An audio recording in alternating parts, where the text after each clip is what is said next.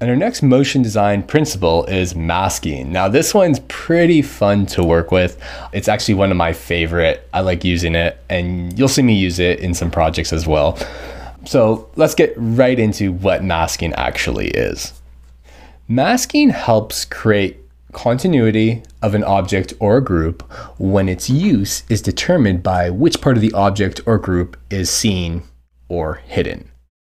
So, that may sound pretty complex, but let me show you some examples.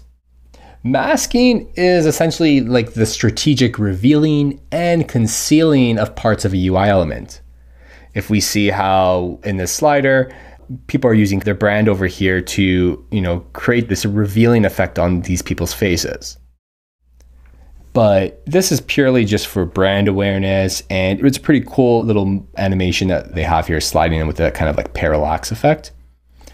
But more importantly, when like a user clicks on a card, creating that connection between what's clicked, uh, especially like an image, and the next screen really helps the user kind of make the connection and follow through.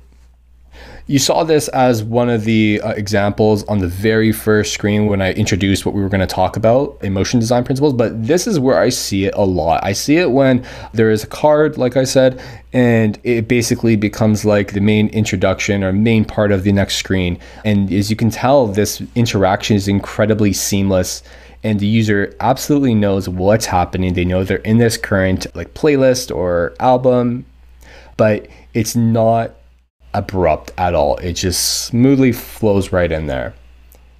And as you can see, like some other motion design principles that we talked about, like easing is happening here.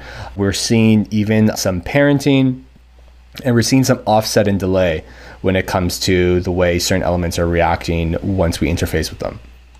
You know, it really works well with uh, detailed visuals like photographs and illustrations. Those are the kind of the ideal candidates to use for masking. And from a usability perspective, like I mentioned before, you know, designers can really implement masking to show users that they are progressing through a series of like actual interactions. And this really helps, you know, create like a continuous and seamless user experience.